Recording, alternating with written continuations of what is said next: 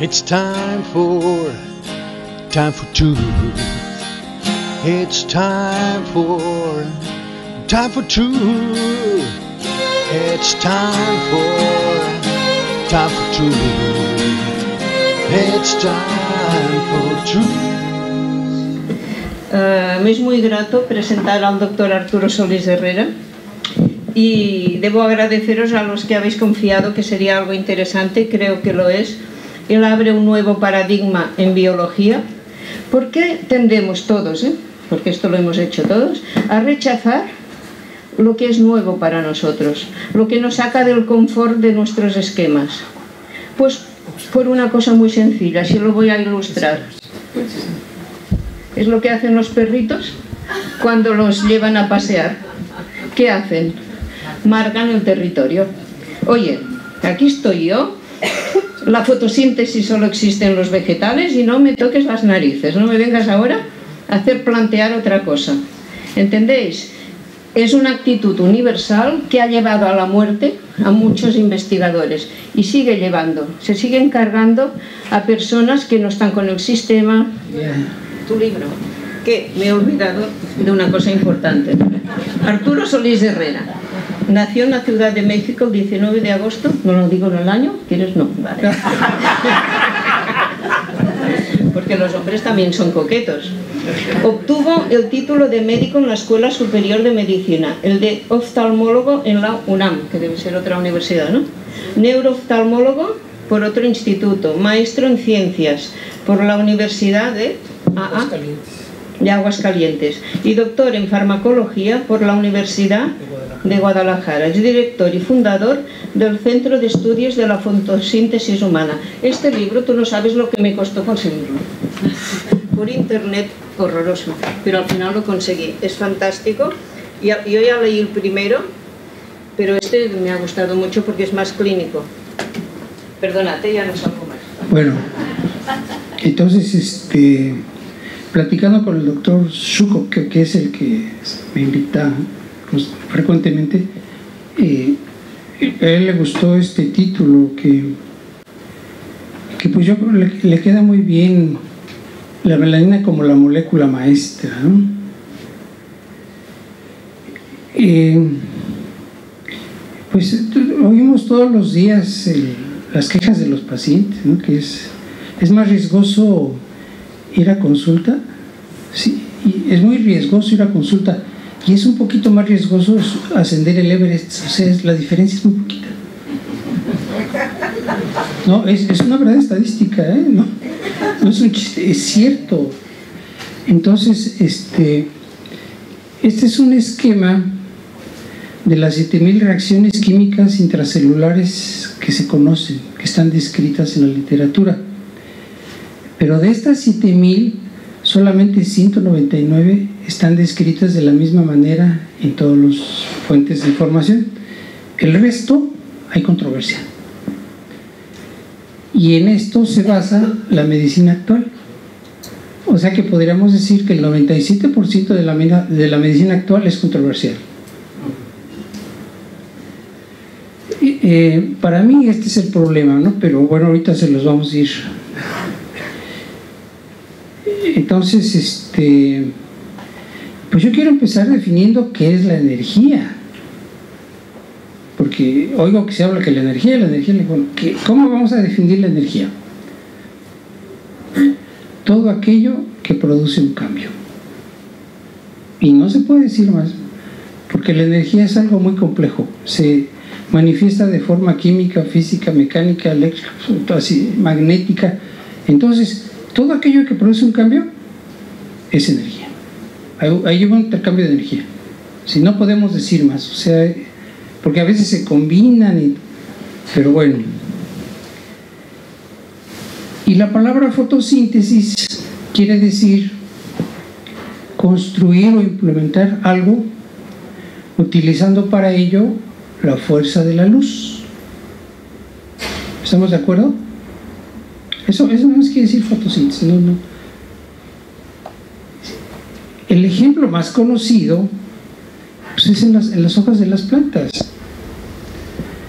en donde la clorofila en presencia de la luz púrpura y la luz roja absorbe la energía y con esa energía disocia la molécula del agua. O sea, de líquido la transforma en gas. Así que parecería algo... Pero en el laboratorio, si queremos hacer lo mismo, tenemos que calentar el agua a 2000 grados centígrados. Y la clorofila lo hace a temperatura ambiente. Así que de ahí ya empezamos a ver que esto es algo, la fotosíntesis es algo este, pues fuera de lo común. Esta es, esta es la, la representación de la primera reacción en la vida de las plantas, cuando se disocia la molécula del agua. Se considera la reacción química más importante del mundo porque es el primer paso en la cadena alimenticia.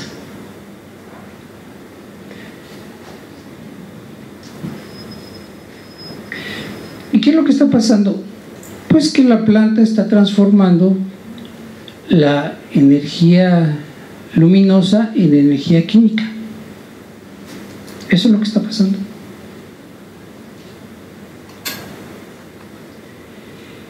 Pero resulta que el, producto realmente valioso es el hidrógeno, no el oxígeno. Y la, la, razón es sencilla. El hidrógeno es el acarreador de energía por excelencia en el universo entero. Así que nuestro cuerpo no puede ser diferente del universo, no hay manera.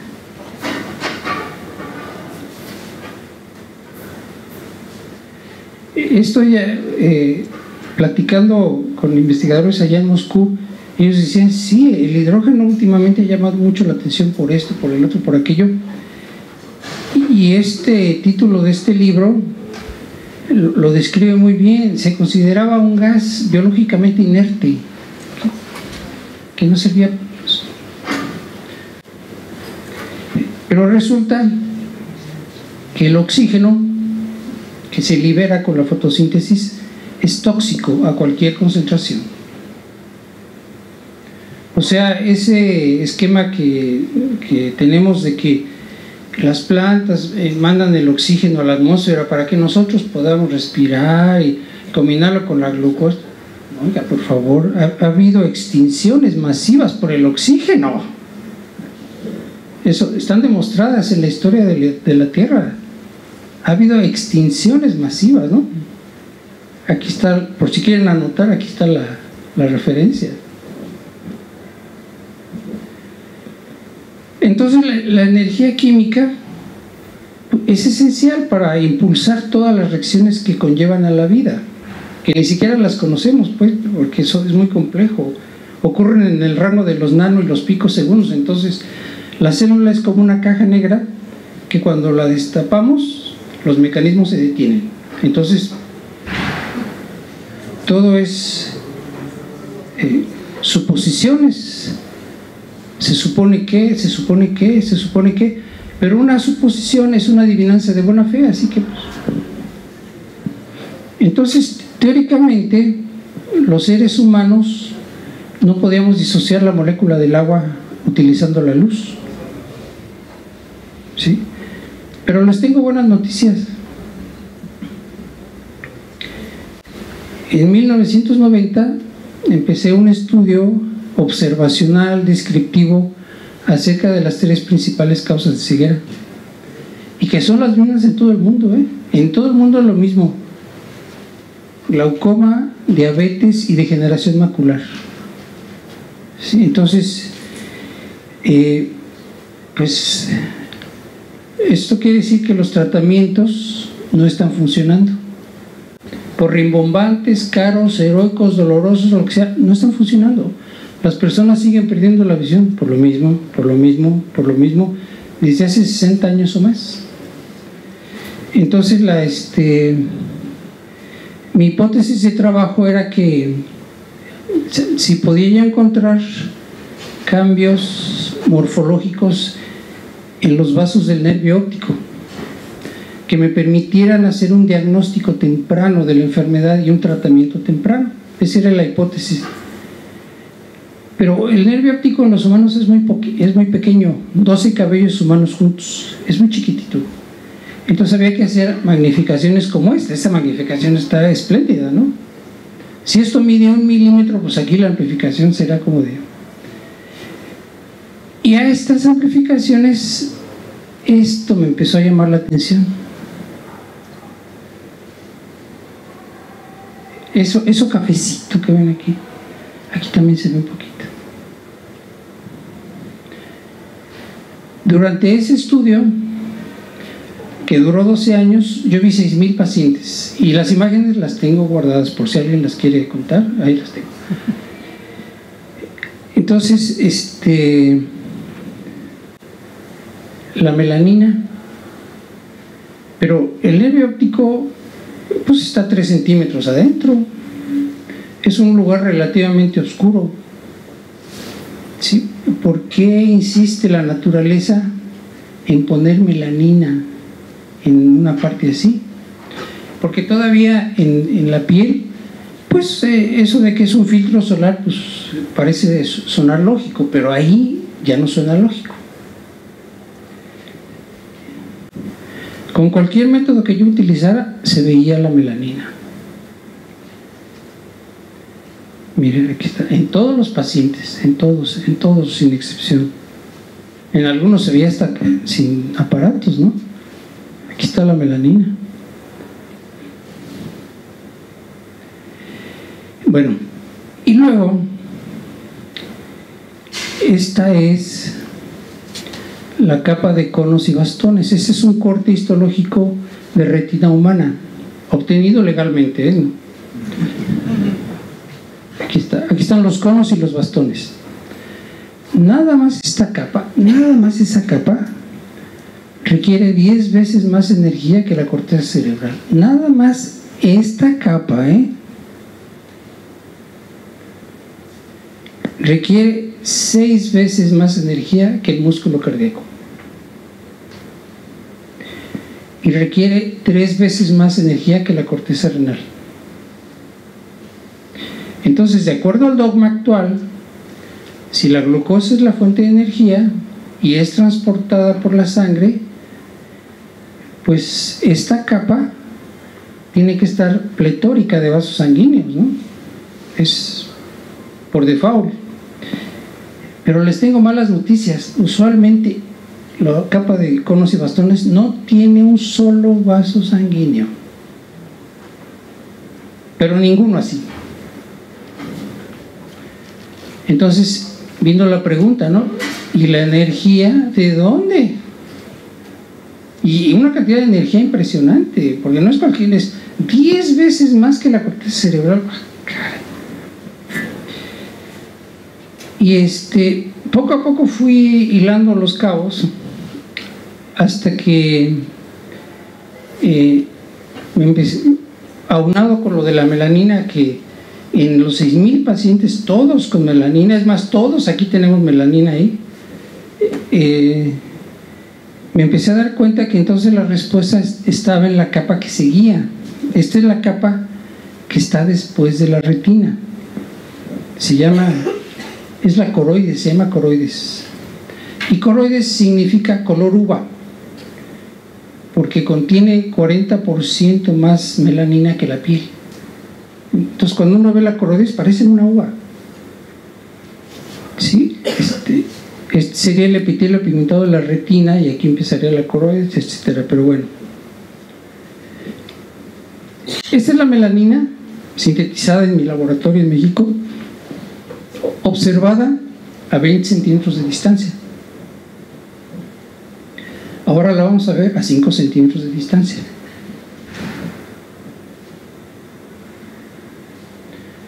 Ahora la vamos a ver a 2 milímetros de distancia con un microscopio de luz, obviamente. O sea, la melanina es una sustancia amorfa, ¿eh? no tiene forma. A mí me gusta mucho esta fotografía porque parece papel transparente plegado, pero no, no crean que es así todo, no, eh, la, encontramos en forma de estrella, en forma de... Es amorfa, no tiene una forma característica. Lo que sí es característico es el color, ese sí. El color siempre es el mismo. Eso habla de su estabilidad. O sea, vean los tonos de café oscuro, café más claro, pero el color es, sorprendentemente constante. Ahora les voy a enseñar la melanina a unos cuantos años luz de distancia.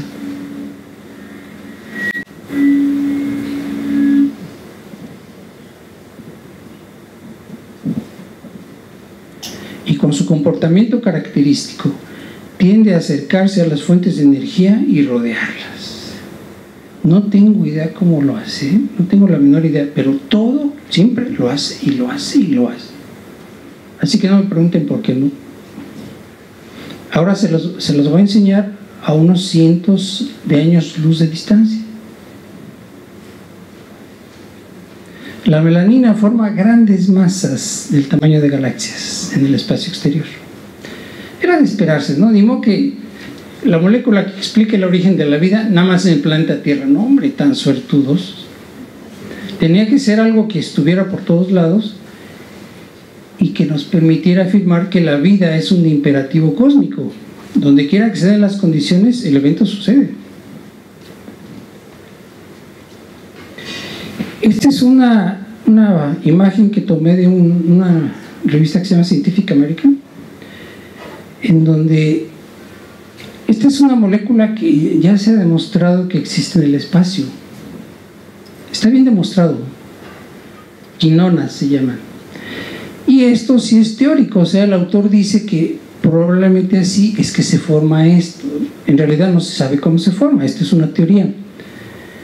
Pero lo interesante es que la quinona es el building block de la melanina. Así que por el aspecto decimos es melanina. Y por la bibliografía es melanina. hay quinonas, hay melanina. La melanina es la sustancia más estable que se conoce. desde hace unos 200 años se sabe que la tinta de los calamares es melanina. Y se ha encontrado en buen estado en los sacos de tinta de calamares fosilizados que murieron hace 170 millones de años. La melanina es estable de veras. Es más estable que el matrimonio de...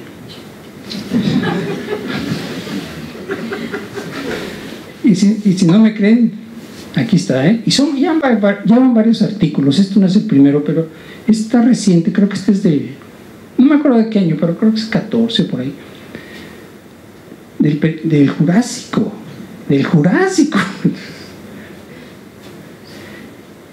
Esta es una fotografía de un feto de cinco semanas de gestación, 35 días de gestación. A los 35 días de gestación, el ojo está completamente melanizado. Se supone, bueno, los libros de oftalmología dicen que la melanina dentro del ojo es como las cámaras para evitar la reflexión interna y que la visión sea más clarita, ¿verdad?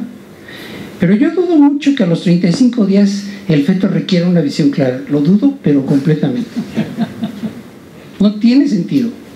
Igual que eso que dicen, la glucosa es la fuente de energía. Ay, por favor, si la glucosa fuera fuente de energía, los diabéticos volarían. ¿Verdad? O sea, como que estamos este, no, lo que pasa es que el, cuerpo no es completamente opaco, ¿no? Es transparente a la luz. Pero fíjense lo que pasa, empieza a crecer el abdomen, la piel se adelgaza, ¿cierto? Digo, yo no sé, pero ustedes sí lo saben. El útero también. Entonces la luz pasa mejor. Entonces lo que está pasando aquí es que la melanina está transformando la luz que pasa en energía química, disociando la molécula del agua del líquido amniótico, que es 95% agua.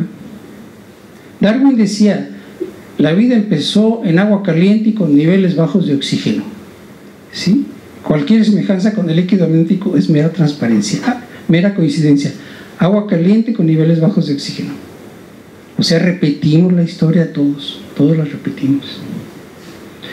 Incluso se sabe que el ojo es un órgano formador de sangre en las primeras etapas de la embriogénesis. Sí, sí, el ojo es algo increíble. El, patrón de organización que tiene es el mismo en todos los mamíferos. Es el mismo en todos los que tienen ojos, excepto en el calamar, pero es un poquito diferente nada más. Pero en todos los demás es, es idéntico. El patrón es el mismo. Los fotorreceptores pegados a la melanina, en todos.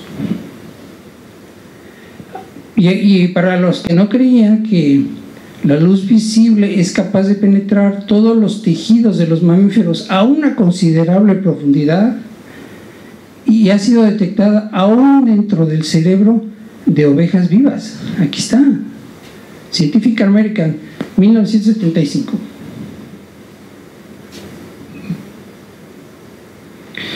Esta es la reacción que yo descubrí en la melanina. La melanina disocia la molécula del agua, ¿sí? O sea, hasta aquí es idéntica a la clorofila. Nada más que la melanina es miles de veces más eficiente, porque la clorofila solo absorbe los extremos del espectro visible, el púrpura y el rojo. Pero la melanina absorbe todo el espectro electromagnético, o sea, desde las ondas de radio hasta los rayos gamma. La melanina requiere un trillonésimo de segundo para disociar la molécula del agua. Es impresionante. Pero, pero también soporta la reacción opuesta. Es capaz de reformarla. O sea, es una sustancia milagrosa. Porque separar la molécula de agua energéticamente es carísimo. Y la melanina lo hace a temperatura ambiente y día y noche. Pero también soporta la reacción contraria, que es, o sea, de líquido la hace gas y luego la vuelve a hacer líquido. Y por cada dos moléculas de agua que se reforman, se generan cuatro electrones de alta energía. O sea, energía aquí y energía acá. Y son diferentes tipos de energía, porque el, el, el hidrógeno molecular es el gas que se mueve más rápido, pero no muy rápido, pero sí es el más rápido.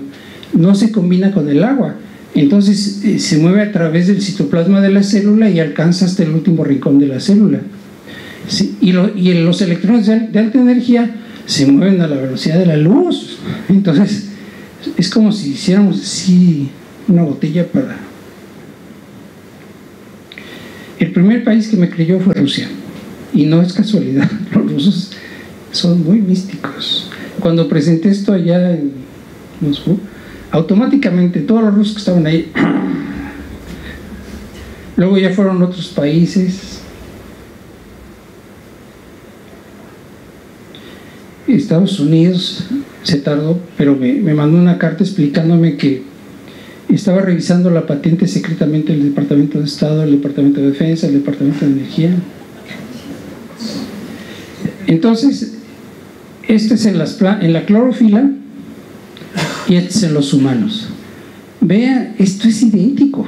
Bueno, aquí no es reversible, ¿verdad? Porque el oxígeno se expele a la atmósfera, entonces no es reversible. Pero por eso le llamé fotosíntesis. Por un lado, porque se parece mucho. Y por otro lado, para llamar la atención, la vida en las plantas y en los humanos empieza igual. Yo digo que ese es un mensaje muy profundo de la naturaleza que hay que... Entonces, este, aquí es un ejemplo. Aquí está la melanina, aquí está el agua. Cuando se disocia y cuando se reasocia,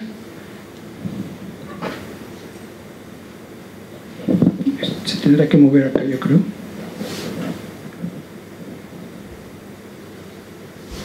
Me apareció la manita, ¿verdad?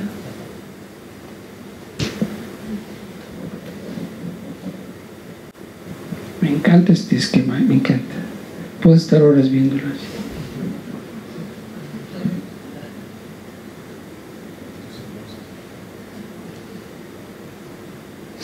Pero es, eh, ahora, imagínenselo a un trillonésimo de segundo de velocidad.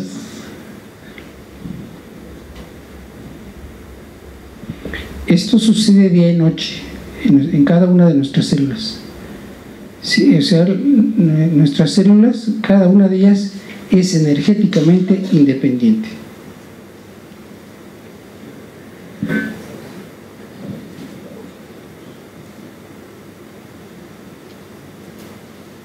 Se ponen a pensar, ¿verdad? La melanina libera la energía en forma simétrica, como esferas crecientes. Simétrica en todas direcciones.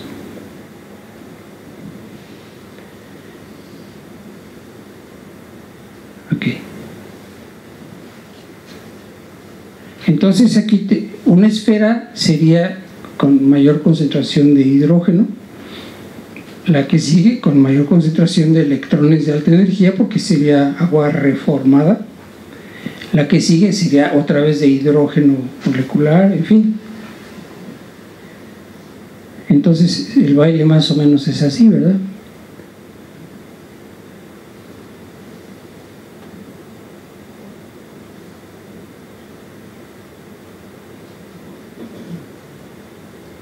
explico? ¿Les gustó? Entonces, la melanina está estratégicamente colocada en el espacio perinuclear. Este es un, dibujo del núcleo, del núcleo celular. Entonces, la, o sea, está, son pequeños puntitos de melanina que están alrededor de, del núcleo. Entonces, si todos están haciendo esto, pues es una emisión constante de energía. Y esto explica algo que yo no sé por qué, de verdad, científicos de alto nivel les, les hacía ver, es que el núcleo celular no tiene mitocondrias ni tiene ATP. ¿La energía de dónde? Y, incluso uno de ellos me dijo, necesítate pelego.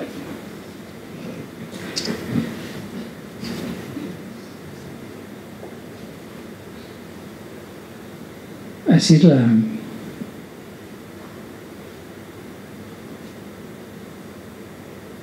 Entonces, como no se combina con el, con el citoplasma, con el agua, entonces e, el hidrógeno empieza a difundirse a toda la célula siguiendo las leyes de la difusión simple. y en el viaje, pues las estructuras lo, empiezan a captar y captan su energía, en fin, ahí empieza el baile que es muy complejo, pero ya sabemos dónde empieza el baile. Además que el hidrógeno es el mejor antioxidante que se conoce, es capaz de reducir al oxígeno.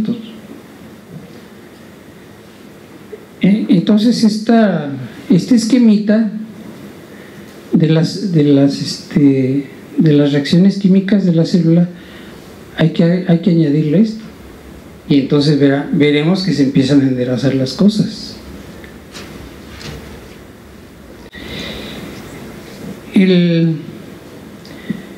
la melanina explica el origen de la vida, ¿eh? y eso nadie me lo discute. Nadie me lo discute. Me discuten lo demás, pero eso de que explica el origen de la vida, se quedan callados.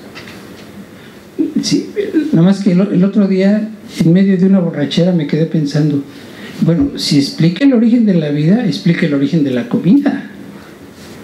Porque no podemos pensar que las primeras formas de vida soportaban ayunos de millones de años.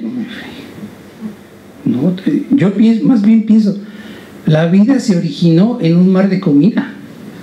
Porque desde el primer día, pues a comer, jóvenes porque ingerimos eh, eh, moléculas relativamente inertes, ¿cierto? Y en cuanto entran, nuestro cuerpo les imbuye la vida. ¿Y cómo le hace? Sencillo. Empieza a bañarlo con la energía de la melanina. Así de simple. Es que es una energía tan consistente, tan especial, tan única, que las moléculas empiezan a, hacerle caso al el, comportamiento de las moléculas que están cerca de empieza la melanina impone el orden. Entonces todas las biomoléculas que tiene nuestro cuerpo tienen que estar bañadas constantemente con esta energía para que se comporten como moléculas que expresan vida.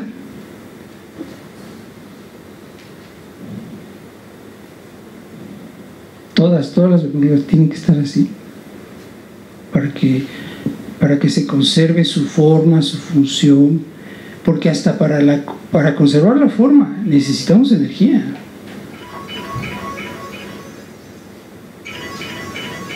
No estoy.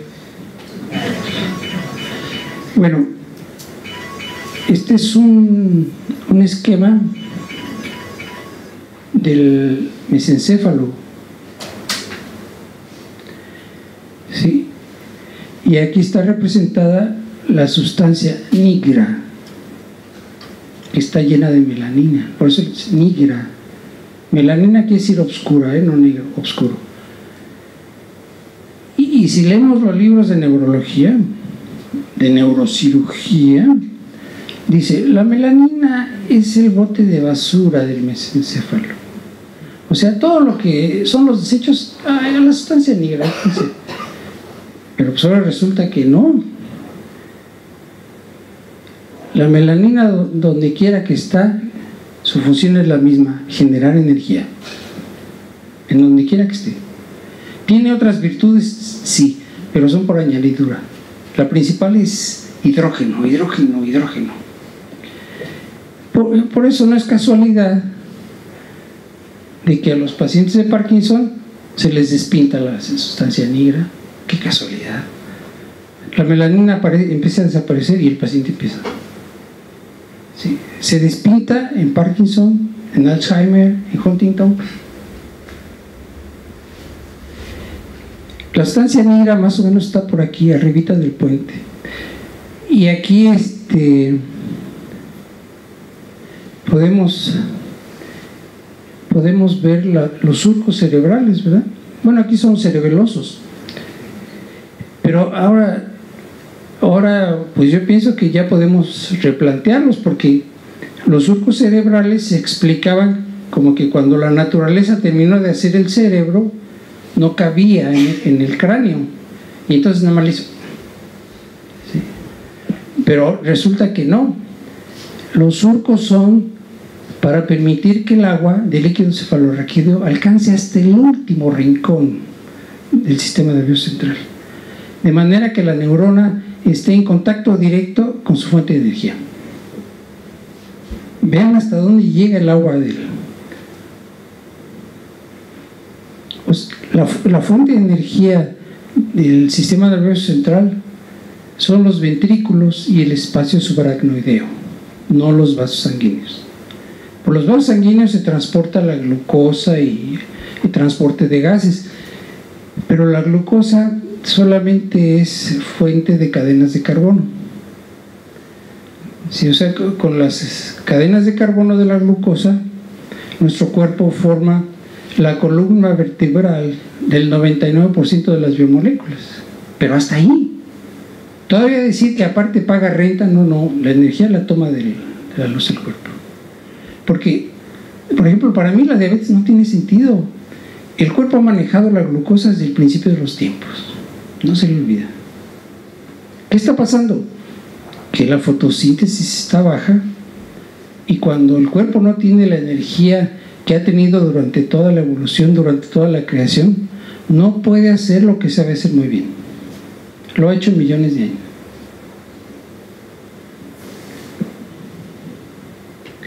Entonces aquí está la representación de cómo se nutre la... Y esto, esta energía llega hasta los nervios ópticos. Esto nutre los nervios ópticos. Porque cuando se empieza a envenenar la melanina por metales, pesticidas, herbicidas, fertilizantes, alcohol, anestésicos, eh, plásticos, aditivos, se, empieza a perder función. Entonces estas esferas empiezan a ser más chiquitas, más chiquitas. Ya no tiene el alcance que tenía. Y el nervio óptico está relativamente lejos. Por eso es una de las manifestaciones que yo considero de que la fotosíntesis está baja en la sustancia negra. Y otra, otra característica, la corteza cerebral es la que da la memoria reciente. Sí, y en los enfermos de Alzheimer, lo primero que pierden es la memoria reciente, pero así característico todos, todos, todos, todos. ¿Por qué? Pues porque las esferas ya no alcanzan, ya no alcanzan, ya están haciéndose más chiquitas, más chiquitas, más chiquitas.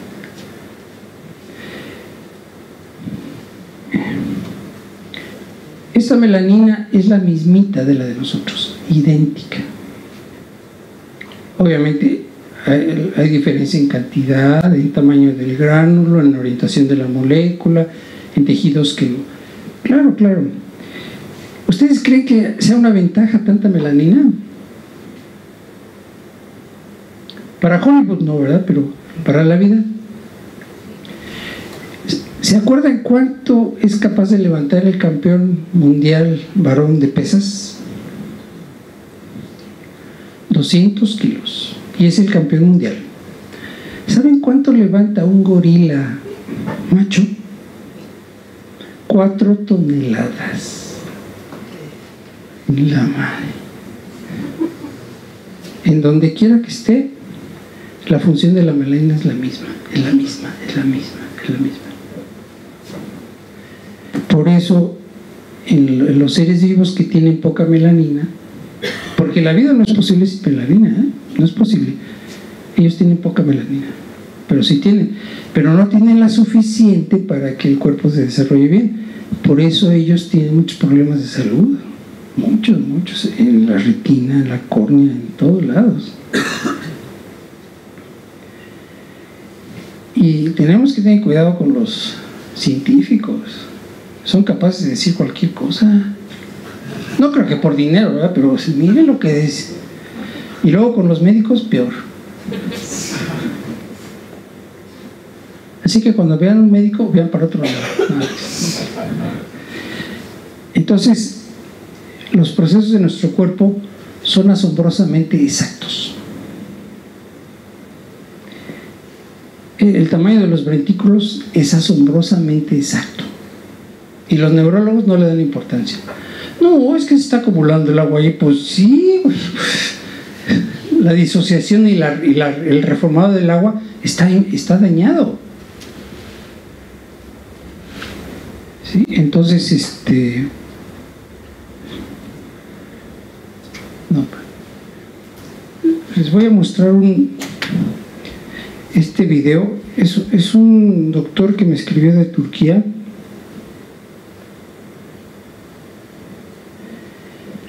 Su hijo nació con parálisis cerebral. Y me escribió me dice, de médico a médico, ¿lo puede a su tratamiento? Le digo, sí. Y le mandé el tratamiento. Entonces el, el doctor este, tomó un video un día antes de empezar el tratamiento. Ahí está el niño.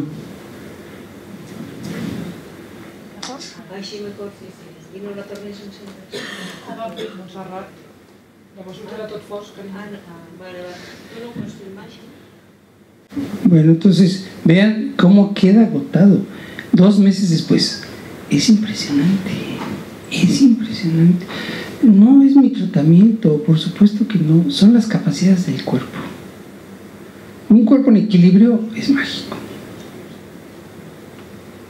El nombre de la enfermedad no importa. El cuerpo no hace caso de eso.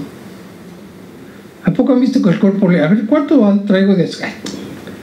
¿Cuándo me salió de colesterol? No, no, esas son invenciones de nosotros tratando de... Pero en realidad cuando le restauramos el nivel de fotosíntesis y el cuerpo entra en balance, empezamos a ver a Dios. Porque el cuerpo empieza a revisarse a sí mismo, empieza a acomodar sus piezas. Es impresionante. O sea, yo hubiera querido ver la cara del doctor, pero, pero ven hasta la cara del niño es... Y, y la plaga del siglo XXI, el Alzheimer.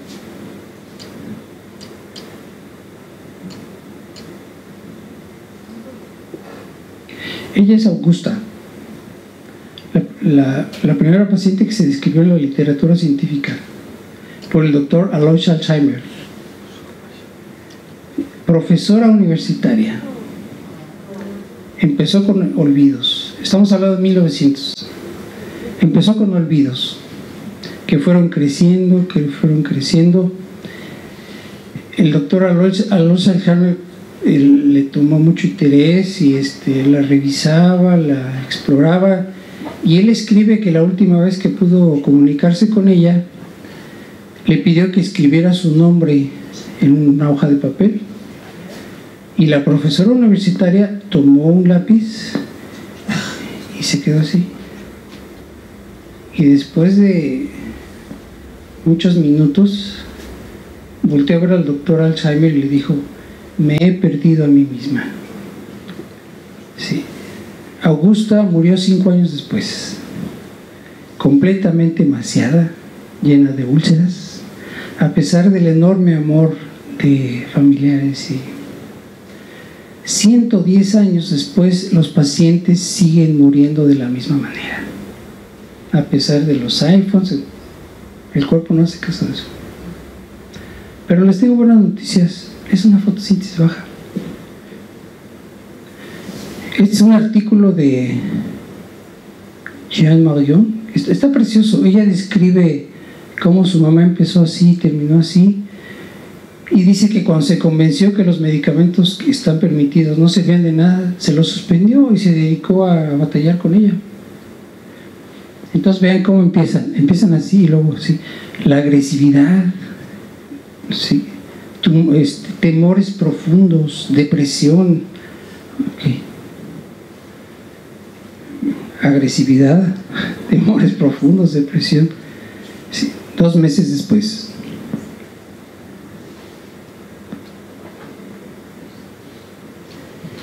Ella necesitaba cuidado a las 24 horas. Vean las manos del familiar, la cara del familiar dos meses después. Es impresionante. Crean que yo me, créanme, yo me caigo de la silla cada. Digo, ella tiene Alzheimer hasta. Sí, y este, seis meses después. No es actuado, créanme, no, no es actuado, ¿eh? Son las capacidades del cuerpo. Se normaliza el suministro, la generación y distribución de energía y pues todo empieza a caminar mejor.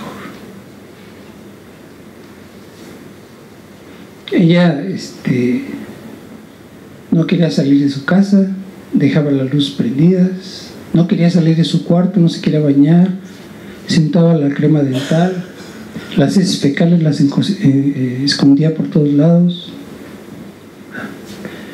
tres meses después.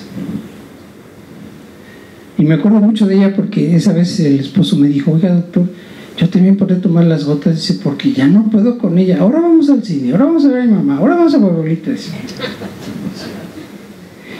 Fíjense, la agresividad. Una, temores pero profundos. Y para colmo, una úlcera de estas que, pues, cómo duelen, crónicas, años. También se curan con el QP, pero bueno. Terrible, ¿no? Agárrese de la silla dos años después.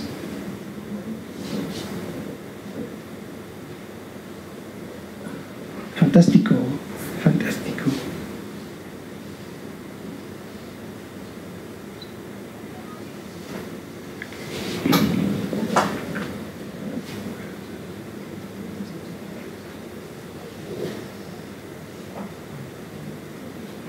Este paciente, nueve años cuadripléjico, tenía un dolor de espalda, le operaron aquí el cuello y quedó cuadripléjico. El dolor de sus piernas era tan intenso que pedía que se las amputaran.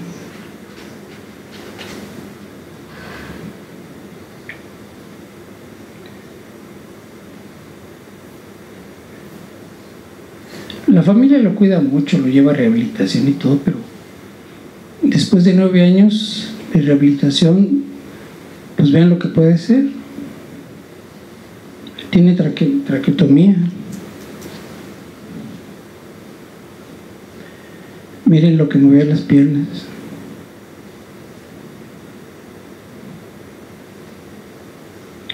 53 o 54 años. Una semana después, él me mandó el video, ¿eh? Él me lo mandó.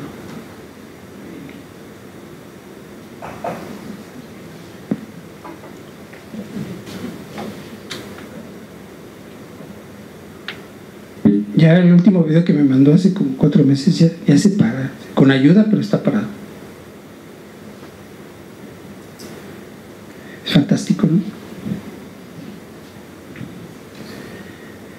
Este no sé qué es, ahorita, ahorita les digo.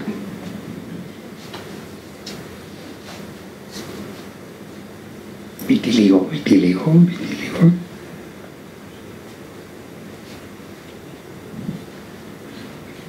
Es una muchachita de 16 años con este. Empezó con vitiligo a 2, 3 años. Ya le han dado cortisona, ya le han dado esto, ya le han dado el otro.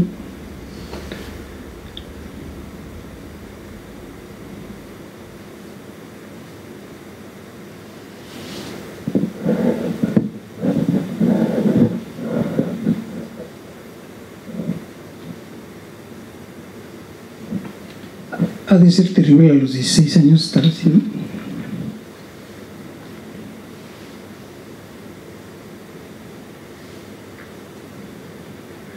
...12 del 12 del 14, ¿eh? Ahí dice... Ahora son 29 del 5 del 15, o sea, 5 meses después, ¿no? Digo, ahí va, todavía le falta poquito, pero con maquillaje ya la, ya la hace, ¿no? Es que el efecto de la fotosíntesis es creciente, se va recuperando. Para mí el vitiligo es una intoxicación de la melanina. O sea, eso de que es autoinmune, eso no, no tiene sentido. O sería como decir que el sistema inmune de nuestro cuerpo es de baja calidad o algo así, o que se volvió loco y le empezó a dar de patadas al pesebre. No, no. Lo que pasa es que cuando la melanina se intoxica con hierro, este, plomo, cadmio, insecticidas, pesticidas, se intoxica y no puede, y no puede.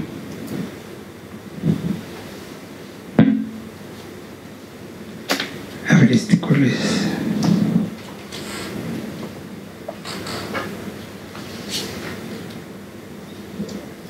Ah, está muy bueno también.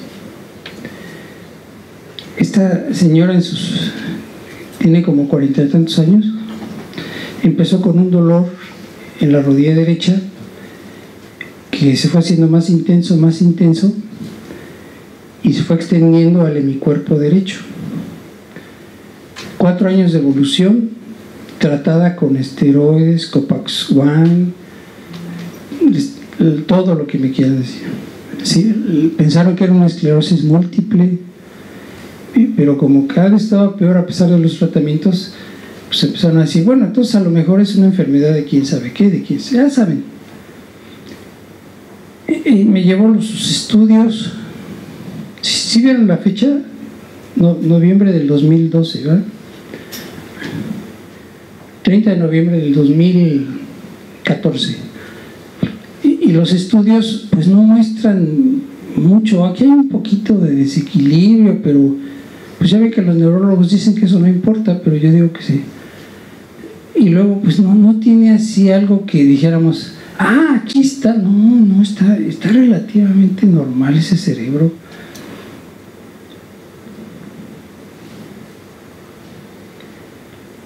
Aquí tiene unas manchitas, pero no, no, no es como para que tuviera ese, ese déficit de la marcha tan marcado, no tiene el tálamo, no, no, no hay algo así que dijéramos. Aquí sí hay alteraciones en el equilibrio, pues, pero del, incluso los estudios de cuello, pensando que tuviera algo. O sea, ella me llevó los estudios, y yo no se los pedí, pero ella me los llevó. Y, y un mes después, la van a ver un mes después,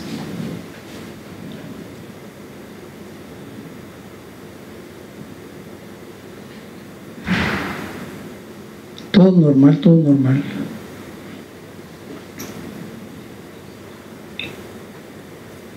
Enero 4. Ay, hasta se me encuera el chino, digo.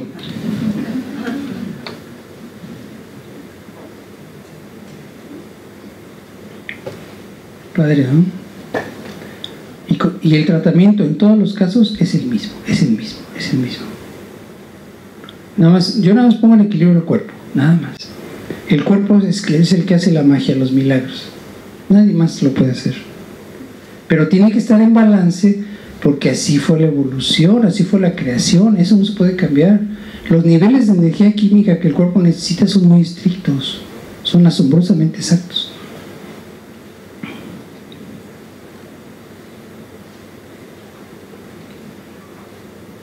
Creo que fue el mejor regalo de Navidad que le han dado en su vida a la señora. Es un muchachito de de 5 años. Sí, lo arrastró un coche 20 metros. Sí, su papá vende flores en las esquinas, estaba con él y, y el espejo de un coche, pum, que lo agarra de la camiseta y pa, pa, pa, pa. Aquí está la hemorragia, el, el cerebro completamente estaba desahuciado, tenía un mes en coma, lo mandaron a su casa para que se muriera, traqueotomía y todo. A las 12 horas de darle el que cada hora, despertó.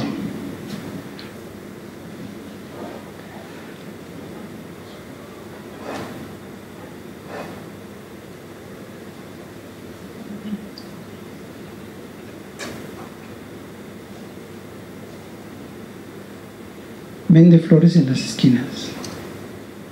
Están haciendo así.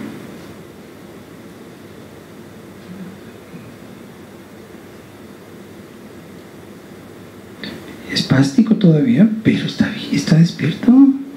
Digo, será de esperarse, tiene un daño axonal difuso, pero se está recuperando. Bendito sea Dios.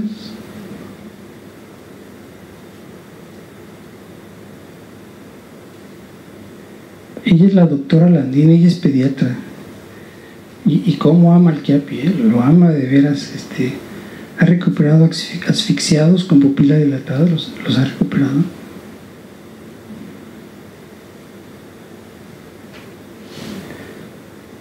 Esto era una úlcera de por tanto tiempo acostado, o sea, nosotros no le hicimos nada. Normalmente no se requiere hacer nada, el cuerpo es capaz de todo, ¿no?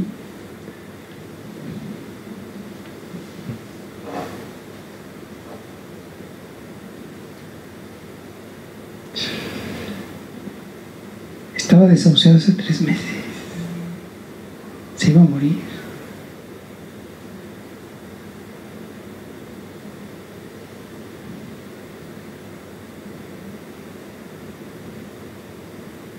Ahí va, ahí va, ahí va. Digo, tampoco sean exigentes, ¿no?